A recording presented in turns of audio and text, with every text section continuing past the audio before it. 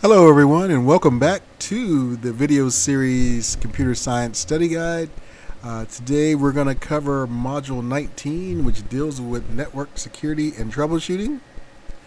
So if you do find this video useful, please smash that like button, leave us a comment, and if you have not subscribed to the channel yet, go ahead and subscribe. If you're unable to leave a comment or press the like or leave a like for us, means you do not you're not signed in please sign in if you don't have an account. Go ahead and create yourself a youtube account. It is free and takes less than a minute. Once you've done that you're able to subscribe to channels leave comments and like other videos. Now once you're signed in it's easier for you to navigate and subscribe to your favorite uh, youtubers so that you can easily navigate and find their material or find other material similar. All right. So with that in mind Let's dive on into Module 19, starting with question number one. Question number one, what network protocol allows devices to discover and communicate with each other on the network without the need for manual configuration or user intervention? So the first uh, possible answer is static IP address. That is incorrect. That's simply setting up a device with the same IP address because usually it's being shared throughout the network. So if it's a network shared hard drive or a media server or FTP server or even a printer, uh, if you, you would set a static IP address so that you're not uh, getting DHCP, getting a new IP address every time you turn it off and turn it on, or if that lease runs out, whether it's one day, three days, or a week. If you do that, you're going to have to keep on resetting, finding that IP address, and sharing it again on all those devices. So easier either way to avoid that is set the static IP address. So that is not the correct answer.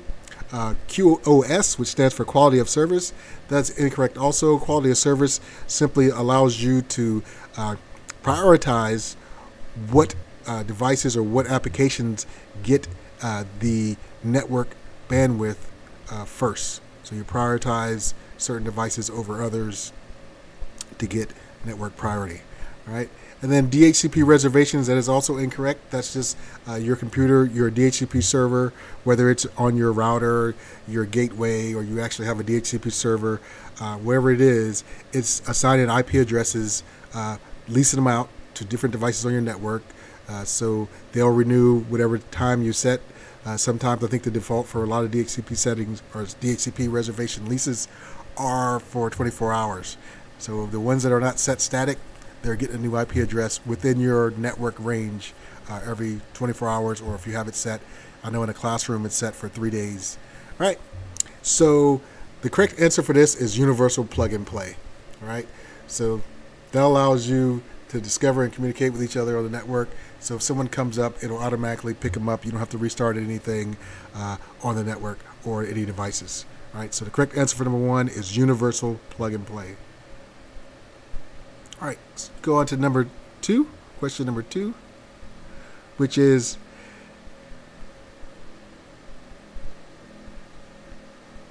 so we covered this one a bit in question one. If a printer connected to your local network does not get a dynamically assigned IP address for the DHCP server, an IP address can be manually configured what type of address is this? So a, a dynamic IP address is incorrect. That's what you would get from uh, your your DHCP server if you're not static IP address. So that's the opposite of a static IP address. That's incorrect. Private private IP address. That's also incorrect. Uh, those are the ones that if you check your network at home or in your office or whatnot, uh, those are uh, certain uh, IP addresses that are set up that are not assigned by your I, by your ISP or internet service provider. And then your public IP address is opposite of a private IP address. That's your actual IP address that your ISP or internet service provider provider assigns you. In order, it's like a phone book or it's like a telephone number. There's only one person can have the same uh, public IP address. Right. So that is your real IP address that the ISP identifies you, and the rest of the world identifies your net, your your service by. Right. So the correct answer for number two is static IP address. You would have to set that manually, and it would stay the same, so that if you're sharing a device, you're not have to go and find it every time the DHCP assigns it a new IP address. So static IP address is done, and the correct answer for question number two, once again, is static IP address or static IP. All right. Let's go on to question number three. Question number three What can be done to prevent your wireless SSID from showing up on a list of available networks? So set channel to 2.412 gigahertz. That is incorrect. That's not going to do anything. Um, next one is disable guest network. Same thing. That is not the correct answer. That's not going to do anything. However, if you disable your SSID broadcast, then your network won't be broadcast. So it won't disable it. All it's going to do is uh, not broadcast it. So if someone knows your SSID, they can still log on. But if someone going by searching for networks, they won't be able to find it because it's not broadcasted. So it makes it more secure. Uh, and then change the firewall settings. That is the incorrect answer. That's that'll help security purposes or uh, control security, but not uh, access. All right. So the correct answer for question three is disable SSID broadcast. All right. Next question, question number four.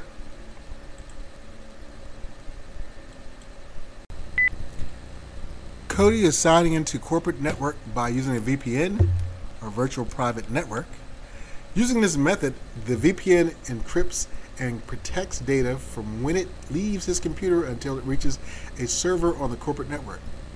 What is the process referred to as? All right, so when you're using a VPN, you'll see this all the time, that the process is re referred to as tunneling. Right? Tunneling, basically you're going through using the internet uh, as a tunnel, you're tunneling through the internet, so to speak. Right? Uh, the internet options is, is not correct. Hash is not correct, nor is set the channel to 2.412 gigahertz A.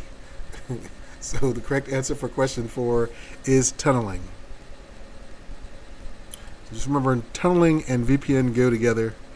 All right, on to question number five. A technician is in the process of installing a program that would assist her with her work in the office. The technician unknowingly downloads the program from an unsafe website.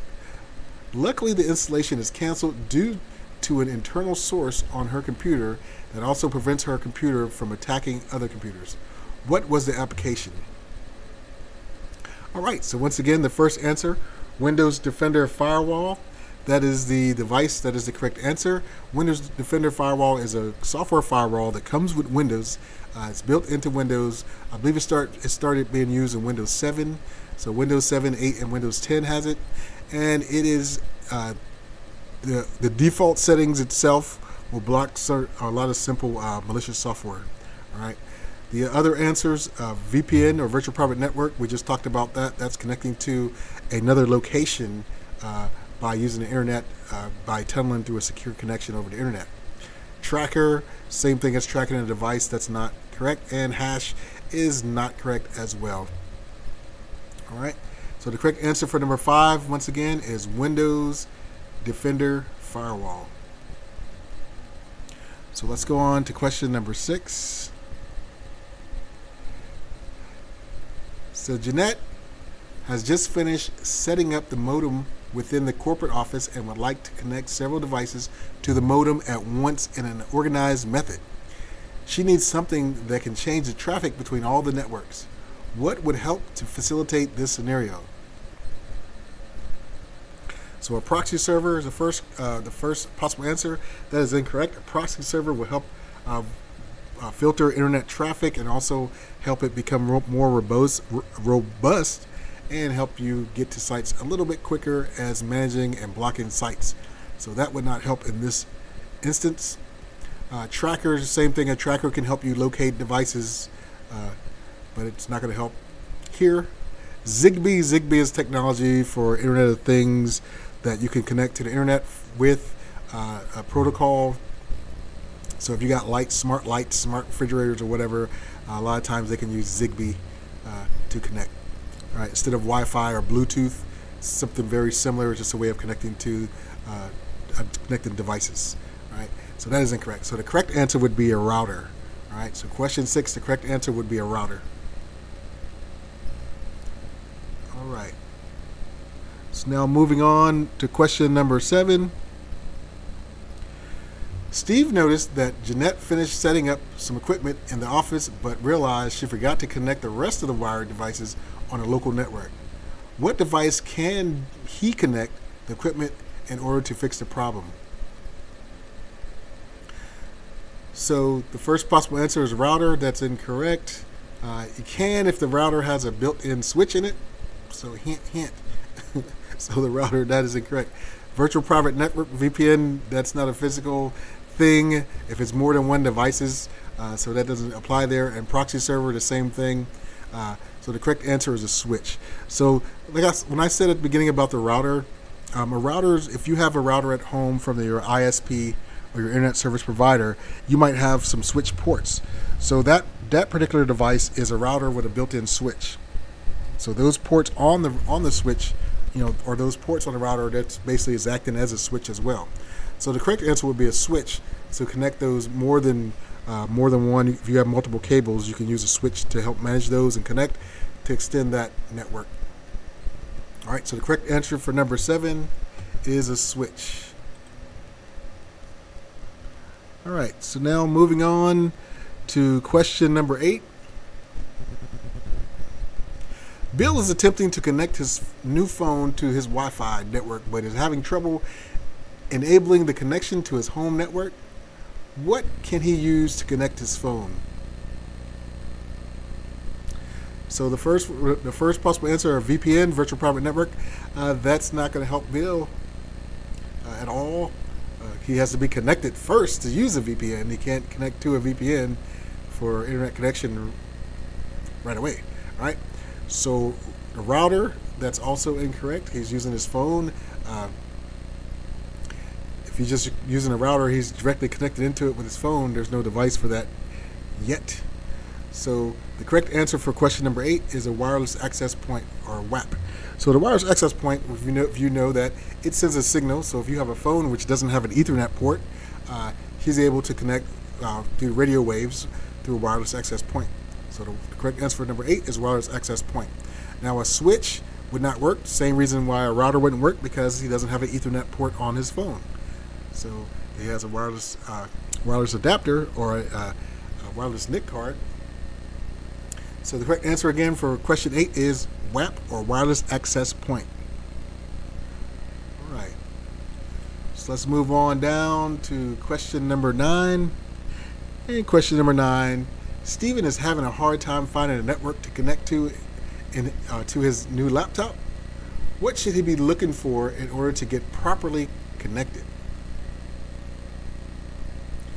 So the first possible answer is blacklist. That's incorrect. So a blacklist is basically a list of devices or, or network or locations that are not welcome. Right? So they put you on a bad list. Avoid these IP addresses or avoid these areas uh, on the internet. So that's blacklist. You, you heard of getting blacklisted.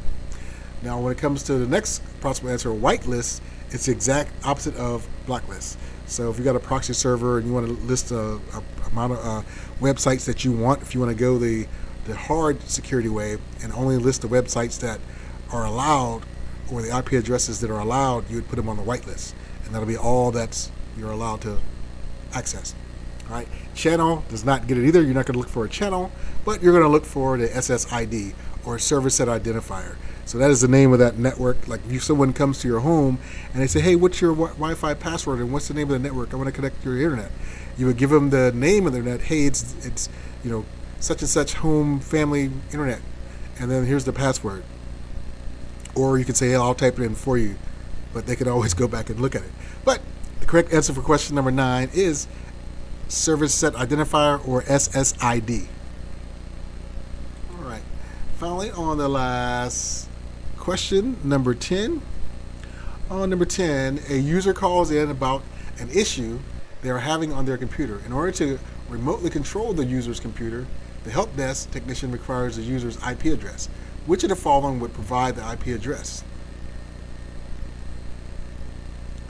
So the first answer is the correct answer, your IP config. The IP config command gives the IP address, default gateway, and several other network uh, uh, information if you want to get uh, all the network information, you would do ipconfig space slash all, and it will give you all the network information that you would normally ask for. Uh, going down the list, the ping command allows you to see if you have connectivity to a specific website or a specific IP address. So you can type a URL, host name, or a IP address in for the ping command. All right. The SSH protocol or Secure Shell protocol is just a secure uh, way of connecting to a device remotely. And Kerberos is just security for uh, signing in for, for instance, for Secure Shell. It's a security protocol. All right. So the correct answer for number 10, once again, is your is IP config. All right. So we'd like to thank you again for joining us on the Computer Science Study Guide series. Uh, if you have not done so, uh, please smash the like button and leave a comment. And if you haven't subscribed to our channel, please subscribe so you can see when we post new videos. Uh, we'll see you soon. Uh, take care and thanks again for joining. Have a wonderful day.